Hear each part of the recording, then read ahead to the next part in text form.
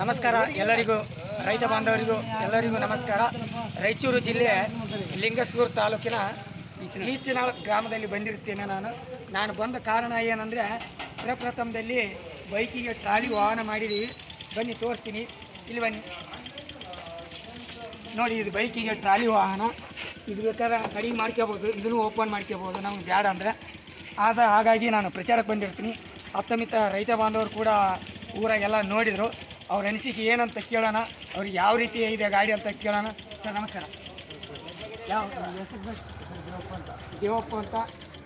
ಗ್ರಾಮದವರು ಇತ್ನಾಳ ಗ್ರಾಮದವರು.